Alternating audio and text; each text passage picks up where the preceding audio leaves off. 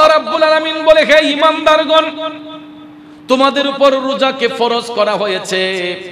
কামা কুতিবা আলাল্লাযীনা মিন ক্বাবলিকুম লাআল্লাকুম তাত্তাকুন।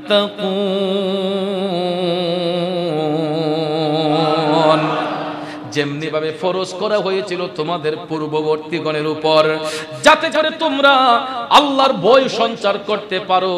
ক্ষুধাবৃত্তি অর্জন করতে পারো। আল্লাহ রাব্বুল আলামিন কোরআনুল হাকিমের মধ্যে ইমানদারদেরকে আহ্বান করে এই ঘোষণা দিয়েছেন। চিন্তা করে দেখেন, আল্লাহ রাব্বুল আলামিন এখানে, ইয়া আইয়ুহান নাস বলে নাই। আল্লাহ রাব্বুল আলামিন, ইয়া আইয়ুহাল্লাযিনা আমানু শব্দ বলেছেন। সুতরাং বোঝা গেল, রোজা সবার জন্য নয়, রোজা হবে একমাত্র ইমানদারের জন্য। কথা কোন ঠিক না বিঠিক যদি সবার জন্য হইতো আল্লাহ রাব্বুল আলামিন ইয়া আইয়ুহান নাস বলতেন, কারণ সমস্ত মানব জাতিকে আল্লাহ ডাকতেন। যেহেতু আল্লাহ রাব্বুল আলামিন রোজার জন্য সমস্ত মানব জাতিকে ডাকেন নাই, এখানে আলাদা করে আল্লাহ রাব্বুল আলামিন ইমানদারদেরকে আহ্বান করে বলেছেন, ইয়া আইয়ুহাল্লাযীনা আমানু। আল্লাহর হাবিব সাল্লাল্লাহু আলাইহি ওয়াসাল্লাম বলেছেন যে, রোজাদারের জন্য দুইটা আনন্দ ঘন মুহূর্ত। কয়টা? দুইটা আনন্দ ঘন মুহূর্ত। একটা হলো যখন আল্লাহর বান্দারা ইফতার সামনে নিয়ে বসে। অর্থাৎ সুস্বাদু খাবার। হতে পারে সেটা খেজুর, হতে পারে কোনো ফল, হতে পারে এটা একটা বোনা খিচুড়ি, হতে পারে একটা বিরিয়ানি, হতে পারে একটা জিলাপি, হতে পারে ছানা বুট হতে পারে পানি। আল্লাহর নিয়ামত সামনে রাখার পরেও নির্দিষ্ট একটা শব্দের অপেক্ষায় আল্লাহর বান্দাগুলা শস্য দানাটা পর্যন্ত হাতে দেয় না, মুখে দেয় না, হাতে নিয়ে মুখে দেয় না। এই জন্য আল্লাহর হাবিব বলেছেন রোজাধারদের জন্য দুইটা আনন্দ কোনো মুহূর্ত। السلام عليكم ورحمة الله تعالى وبركاته ومغفرة. الصلاة والسلام عليك سيدي يا رسول الله. الصلاة والسلام عليك سيدي يا حبيب الله. الصلاة والسلام عليك سيدي يا شفيع المجنبين.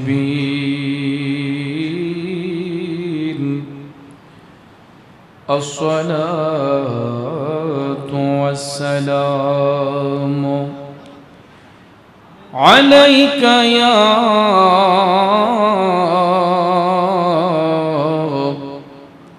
رحمة للعالمين أعوذ بالله من الشيطان الرجيم. بفضل بسم الله الرحمن الرحيم.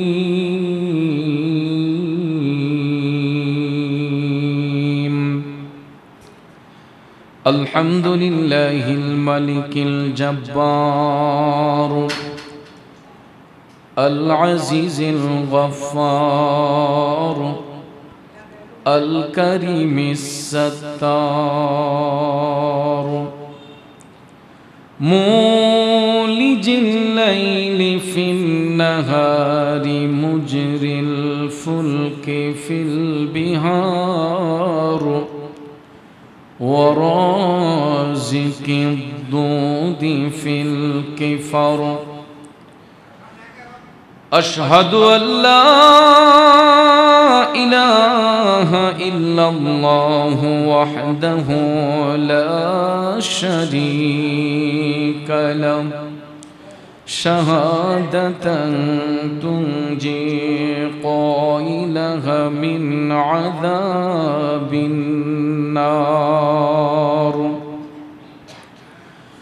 وأشهد أن سيدنا ونبينا وشفيعنا وحبيبنا ومولانا محمدا عبده ورسوله. خاصة وعلى آله وأصحابه وأهل بيته.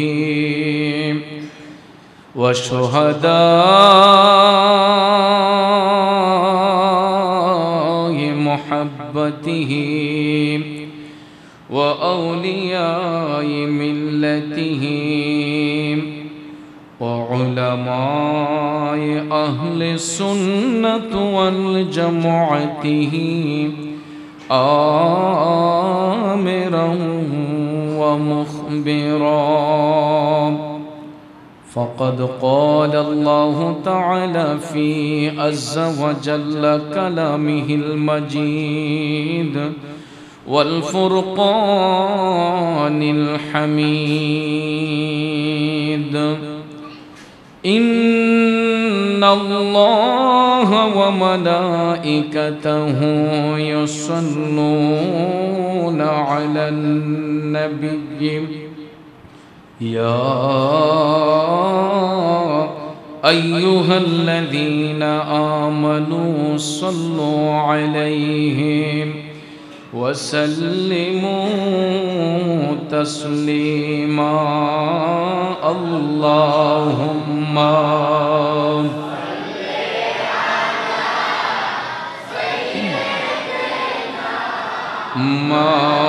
مولانا أدعو على آل سيدنا مولانا. عرش حق ہے مسند رفعت رسول اللہ کی دیکھنی ہے حشر میں عزت رسول اللہ کی اللہم سیدنا محمد وعلى سيدنا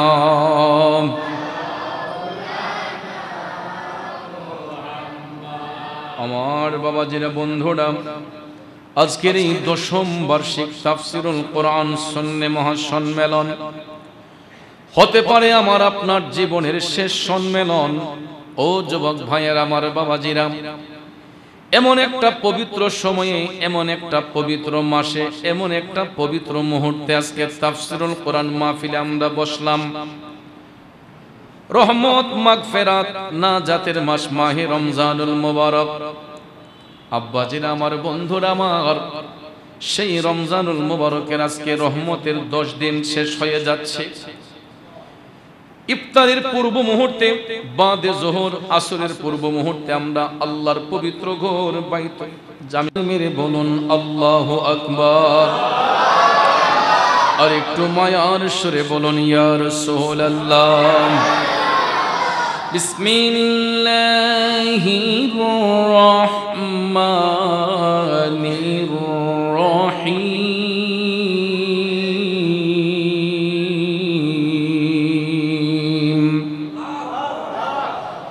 يا أيها الذين آمنوا لا تقولوا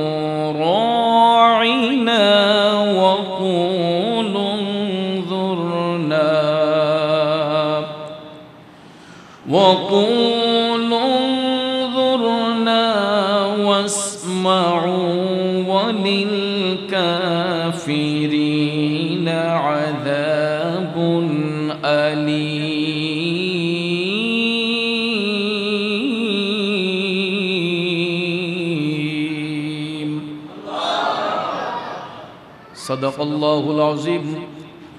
وصدق رسوله النبي الحبيب الكريم. ونحن على ذلك من الشاهدين والشاكرين. والحمد لله رب العالمين. ربي صل وسلم وبارك عليه.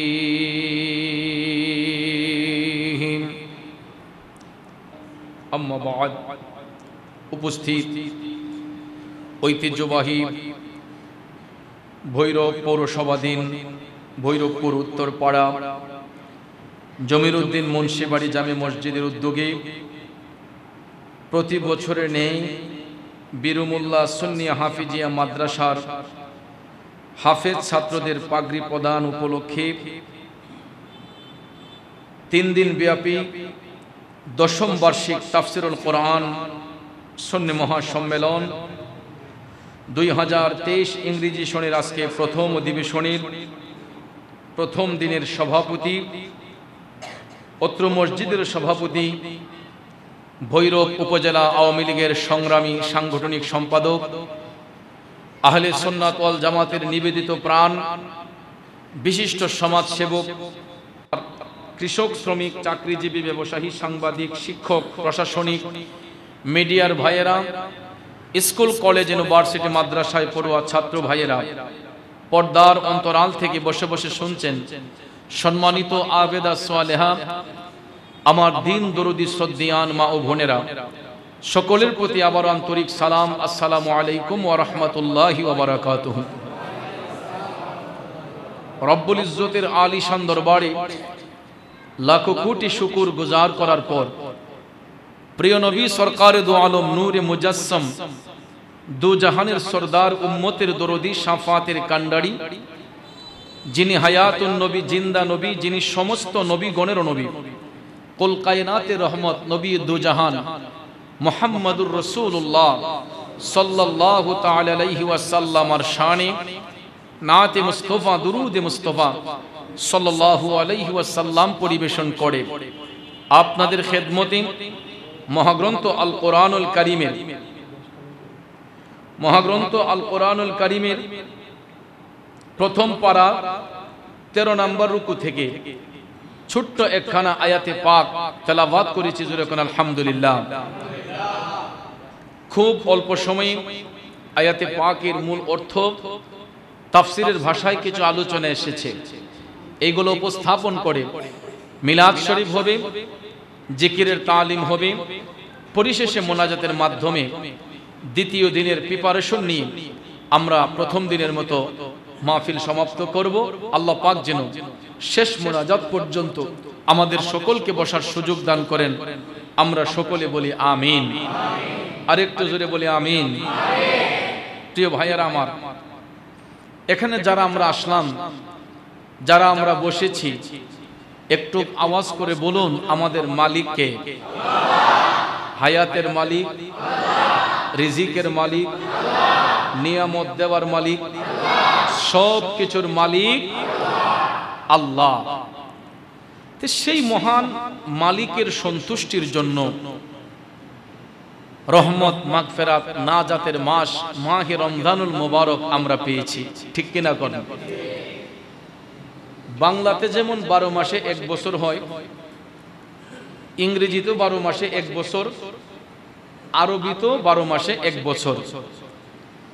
মূলত আরবি বারো মাসকে নির্ধারণ করেই বাংলা এবং ইংরেজি মাসের গণনা শুরু হয়েছে এবং এগুলা বারো মাস বলে আখ্যায়িত হয়েছে। মূলত কোরআনুল কারিমে আল্লাহ রাব্বুল আলামিন মাস যে বারো মাসে এক বছর হয় গণনা সূত্রে যে বারো মাসে এক বছর হয়, এটা মহাগ্রন্থ কোরআনুল কারিমি আল্লাহ পাক ঘোষণা দিয়েছেন। সুবাহান আল্লাহ বলেন।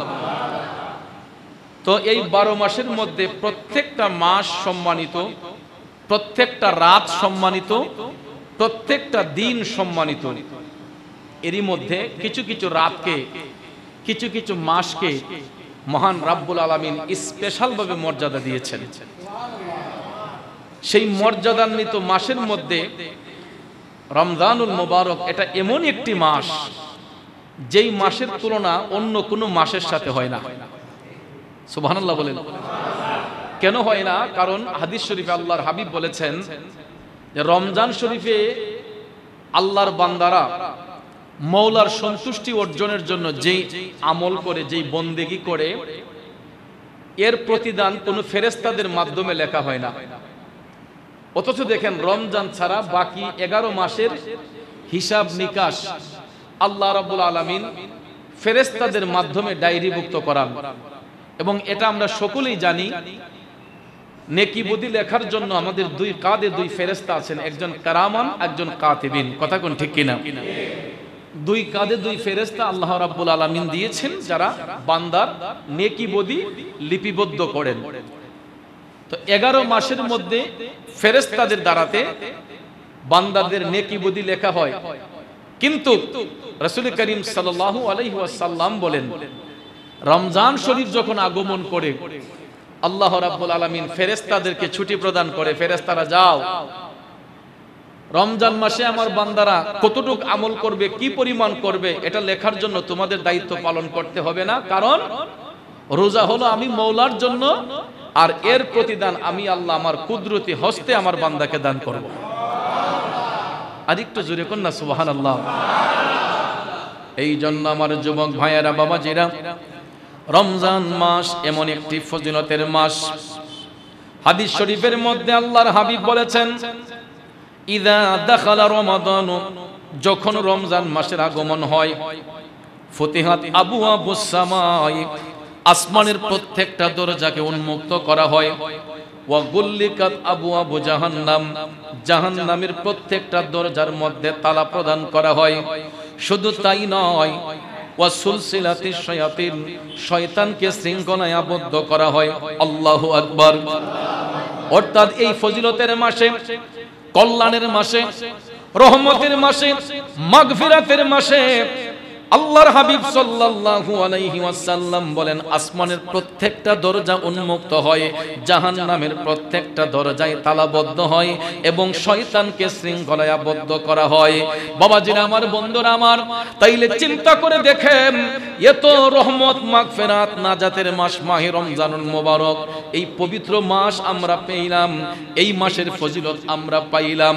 যদি বিবেককে প্রশ্ন করে, কিসের মাধ্যমে পাইলাম, কি কারণে পাইলাম, তাহলে বিবেক উত্তর দিবে, এই রমজান শরীফের ফজিলত বরকত পাইলাম। রহমাতাল্লিল আলামিন নবী মোহাম্মদুর রাসূলুল্লাহ সাল্লাল্লাহু আলাইহি ওয়াসাল্লামের মাধ্যমে কথা বলেন ঠিক কিনা? সম্মানিত হাজিরিন, এই জন্য রোজা এমন একটি এবাদত। ওই রোজা রাখার জন্য আল্লাহ রাব্বুল আলামিন বেঈমানকে তাকিদ করে নাই, মুনাফিককে তাকিদ করে নাই, দাজ্জালকে তাকিদ করে নাই। রোজা রাখার জন্য আমার আল্লাহ ঈমানদারদেরকে আহ্বান করে। মহাগ্রন্থ আল কোরআনুল কারীমের মধ্যে আল্লাহ বলেছেন, বিসমিল্লাহির রহমানির রহিম।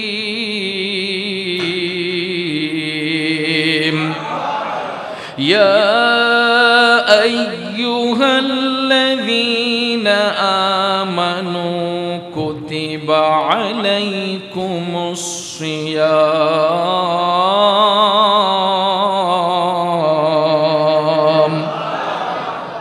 আল্লাহ রাব্বুল আলামিন বলে হে ইমানদারগণ তোমাদের উপর রোজাকে ফরজ করা হয়েছে কামা কুতিবা আলাল্লাযীনা মিন ক্বাবলিকুম লাআল্লাকুম তাত্তাকুন যেমনি ভাবে ফরজ করা হয়েছিল তোমাদের পূর্ববর্তীগণের উপর, যাতে করে তোমরা আল্লাহর বই সঞ্চার করতে পারো ক্ষুদাবৃত্তি অর্জন করতে পারো।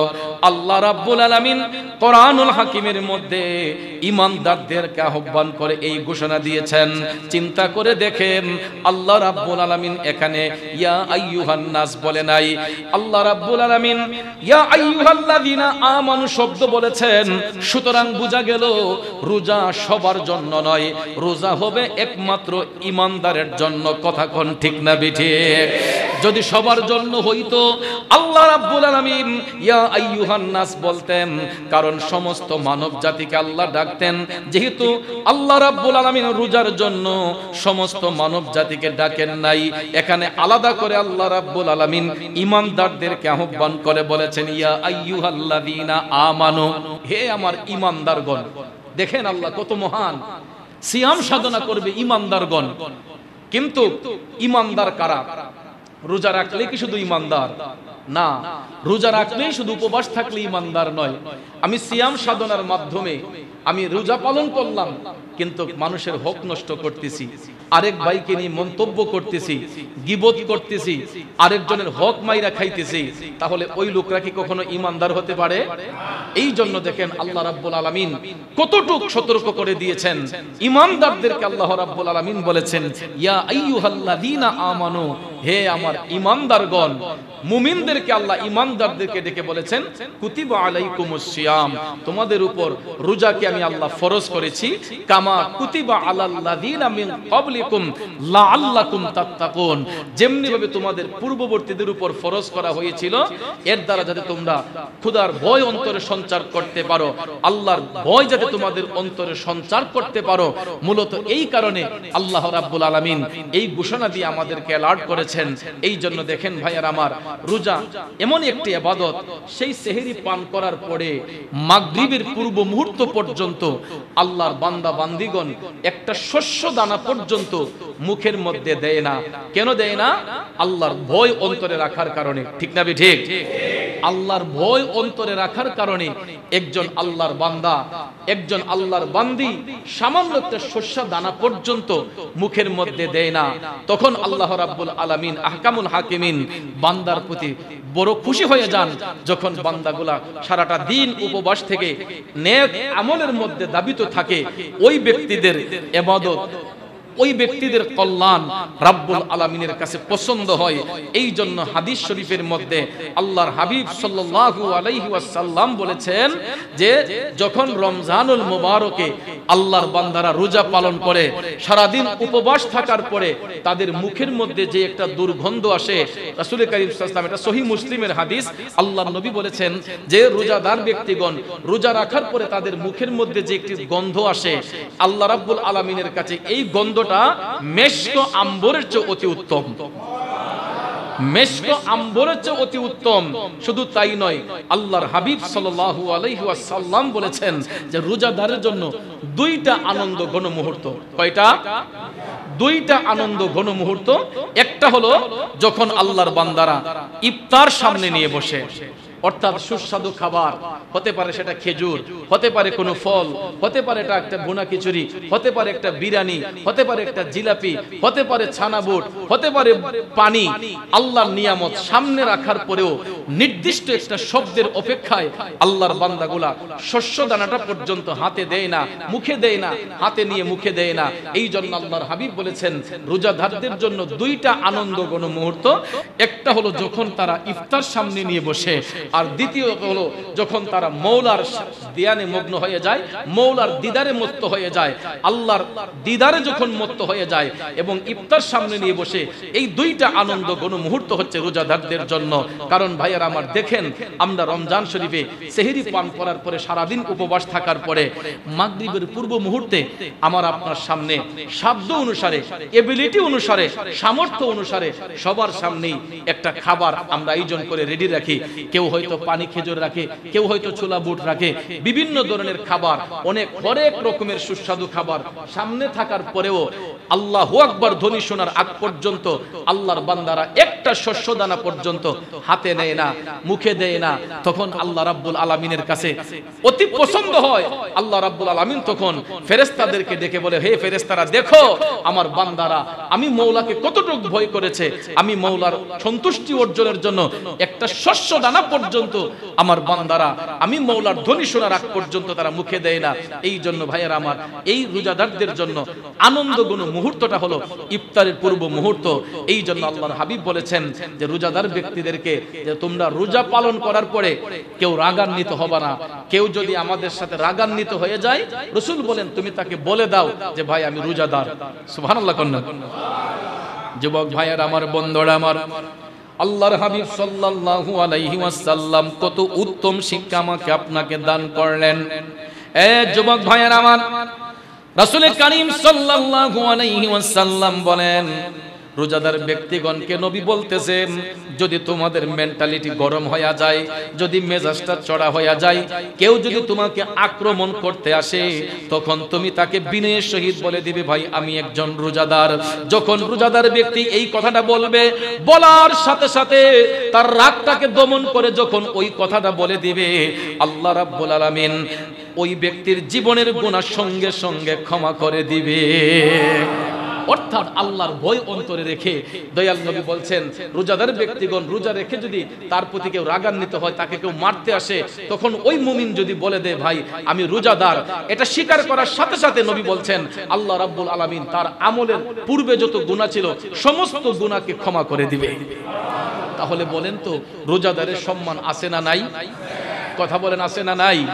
কিন্তু এই সমাজের মানুষ, আমরা মিজাজ সবসময় গরম থাকে মেন্টালিটি আমাদের সবসময় অন্যরকম থাকে হাই গ্রেডের মধ্যে থাকে। কেউ যদি একটা কথা বলে, আমরা রাগান্বিত হয়ে যাই, চেঁচামেচি হয়ে যাই। ইসলাম রাগারাগির ধর্ম নয়, ইসলাম মারামারির ধর্ম নয়। ভাইয়ার আমার, বন্ধুরা আমার, দেখেন, আমার মায়ার নবীর আদর্শের মধ্যে কত উত্তম আদর্শ দয়াল নবী আমাদের জন্য রেখেছেন। আমি ইতিপূর্বে কয়েকটা মাহফিলে কথাটা বলেছিলাম। কথাই কথা চলে আসলো যে আমরা যে কথাই কথা রাগান্বিত হয়ে যাই, এটা আল্লাহ নবী নিষেধ করেছেন যে না, তো ধৈর্য ধরতে হবে। ধৈর্য হচ্ছে মমতার লক্ষণ।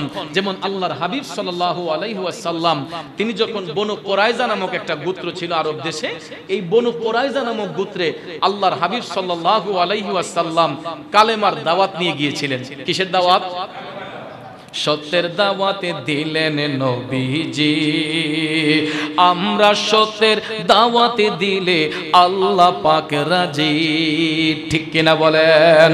আল্লাহকে রাজি করে, আল্লাহকে রাজি করে সঠিক প্রেমিক হও। নবী, তুমি আমার হয়ে যাও। আমি তোমার, তুমি আমার একবার কথা দাও। নবী তুমি আমার হয়ে যাও। একটা জবান বন্ধ রাখবেন না উচ্চস্বরে বলুন না ইয়ার সোল রাসূলুল্লাহ। আমার যুবক ভাইয়েরা, ও মুরব্বী বাবা জিরা গো, দেখেন আমার মায়ার নবী উম্মতকে কে শিক্ষা দান করলেন। বনু কোরাইজা নামক গোত্রে আল্লাহর নবী যখন ইহুদিদের গোত্রে কালেমার দাওয়াত নিয়ে গেলেন, মায়ার নবী, দয়ার নবী এক ইহুদিকে পাইয়া ডাক দিলেন। সে যখন দয়াল নবীর কদমে আসলো, আসার সাথে সাথে আমার মায়ার নবী তাকে কালেমার দাওয়াত দিলেন, ভাই, তুমি পড়লা ইলাহা ইল্লাল্লাহু মুহাম্মাদুর রাসূলুল্লাহ সাল্লাল্লাহু আলাইহি ওয়াসাল্লাম। কালেমার দাওয়াত দেওয়ার সাথে সাথে এই ইহুদি হাত উঠাইয়া মায়ান নবী দয়ান নবীর গাল মোবারকের মধ্যে ঠাস করে একটা থাপ্পড় মেরে দিয়েছে। জোরে কোন নাউজুবিল্লাহ। আরেকটু জোরে কোন নাউজুবিল্লাহ। আল্লাহর হাবিব সাল্লাল্লাহু আলাইহি ওয়াসাল্লাম ইহুদিকে কালেমার দাওয়াত দিলেন। মিষ্টি মধুর কণ্ঠে দয়াল নবী রহমতের কণ্ঠে ইহুদির কাছে কালেমার দাওয়াত দিলেন। সে অ্যাকসেপ্ট করলই নেই বটে।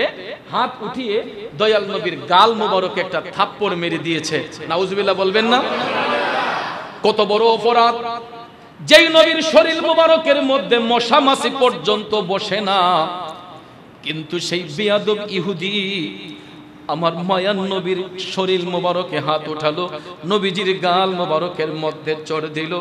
দয়াল নবীর গোলামিতে ছিলেন হজরতে উমর রাদি আল্লাহ তাআলাহু বাবাজিরা আমার, যখন হজরতে উমর রাদি আল্লাহ তাআলাহু দেখলেন ইহুদি নবীজির সাথে বেয়াদবি করেছে, সাথে সাথে কোমর থেকে টান দিয়ে তরবারিটা বের করলেন, নবী গো একটা বার আমার অনুমতি দেন, আমি তার কেল্লাটাকে আলাদা করে দেই। বাবা বাবাজিরা, আমার বন্ধুর, আমার এটা স্বাভাবিক। কারণ আমার চোখের সামনে কেউ যদি আমার বাবাকে অপমান করে সন্তান হয়ে আমি এটা সহ্য করতে পারব না। সন্তান হয়ে আমি এটা মেনে নিতে পারব না।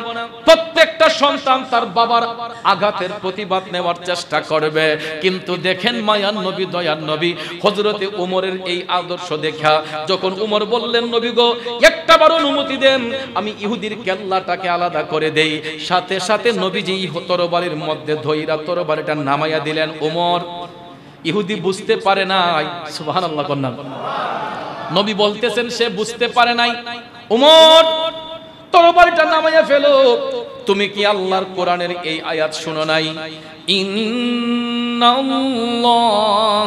মা'আস সাবিরিন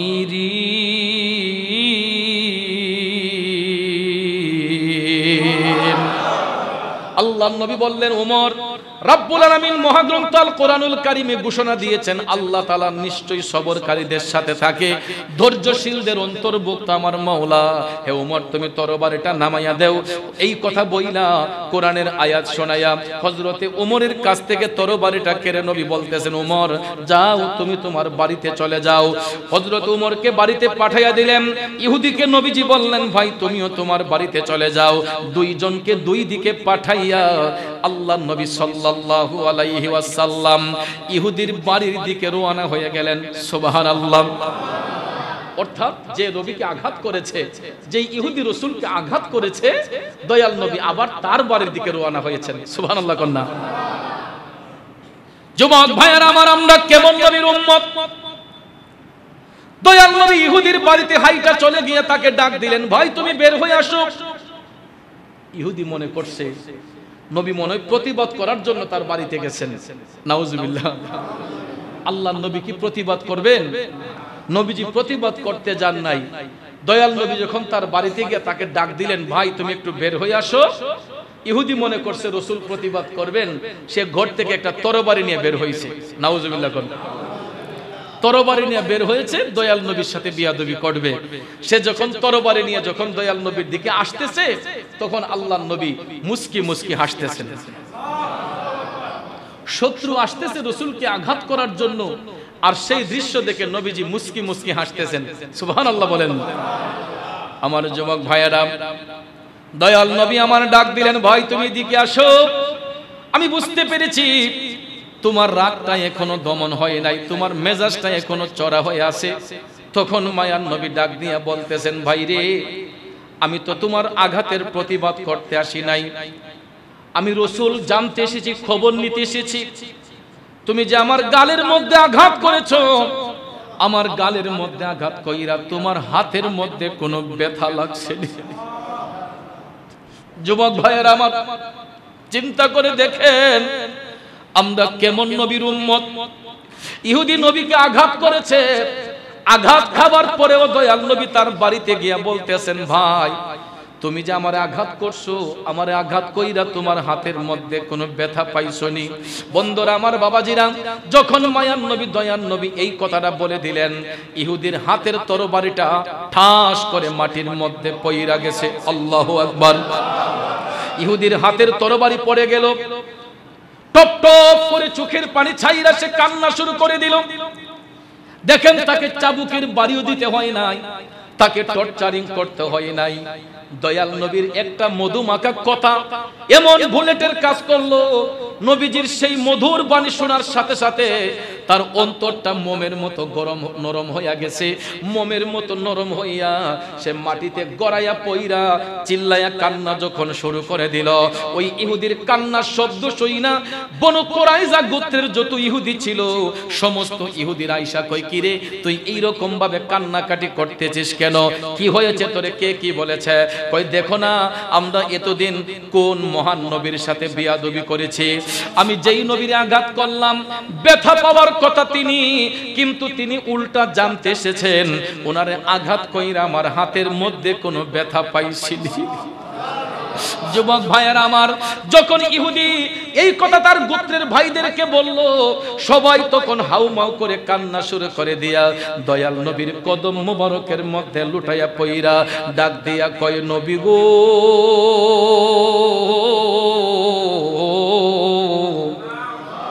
ইয়া রাসূলুল্লাহ মায়ান নবী দয়ান নবী গো। আমরা অনেক ভুল করে ফেলেছি, অনেক অন্যায় করে ফেলেছি। গো, আমাদেরকে ক্ষমা করে দেন। আমরা যদি জানতাম, জীবনে কোনোদিন এই অন্যায় অত্যাচার আপনার সাথে করতাম না। কিন্তু নবী গো, আমরা ভুল করেছি, আমাদেরকে ক্ষমা করে দেন। আমরা জিন্দিগিতে আর কোনোদিন এই রকম বিয়াদবি করব না। সেই সাথে নবী গো, দেরি না কইরা আমাদেরকে কালেমা পড়াইয়া মুসলমান বানাইয়া দেন। আরও জোরে কন।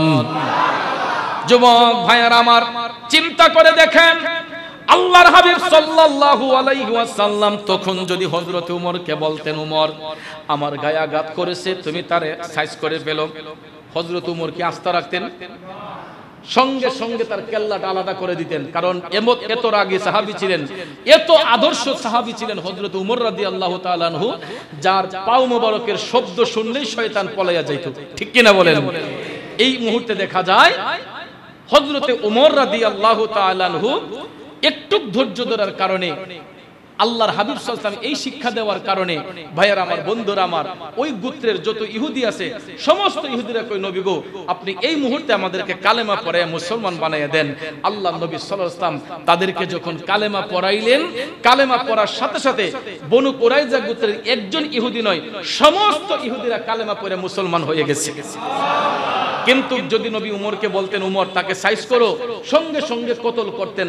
কতল করলে কি এটা মীমাংসা হয়ে যেত? ওই গুত্রের যত ইহুদি ছিল, এদের প্রতিবাদের ঝড়টা আরও বেশি বেড়ে যেত, উত্তেজিত হয়ে যেত, কারণ তাদের বংশের একজনকে মেরে ফেলছে। এরা এটা সহ্য করতো না, উল্টা আক্রমণ করত। কিন্তু দয়াল নবী একটু মমতা দেওয়ার কারণে, ভালোবাসা দেওয়ার কারণে, একটু ধৈর্যের শিক্ষা দেওয়ার কারণে একজন ইহুদি নয়, ওই গোত্রের যত ইহুদি ছিল, প্রত্যেকটা ইহুদি কালেমা পরে মুসলমান হয়ে গেছে এবং প্রত্যেকটা ইহুদি আমার মদিনার কামলিওয়ালা নবীর গোলামিতে মাসগুল হয়ে গেছে জোরে কন্যা সুবাহ আল্লাহ এই জন্য ভাইয়েরা আমার আল্লাহ নবী সাল্লাম বলেছেন যে রমজান শরীফে তোমরা তোমাদের রাগকে দমন রাখো। যেই ব্যক্তি তার রাগকে কন্ট্রোল করতে পারবে, আর যদি কেউ তার উপর রাগান্বিত হয়ে যায়, সে যদি বলে দেয় যে, ভাই, আমি রোজাদার, তখন এই কথাটা স্বীকার করার সাথে সাথে তার পূর্বের যত গুণা আছে, আল্লাহ রাব্বুল আলামিন ক্ষমা করে দিবেন। জুড়ে কন্যা সুবাহান আল্লাহ এই জন্য আমার বাবা যারা বন্ধুরা, দয়াল নবীর আদর্শই আমার আপনার জন্য উত্তম আদর্শ।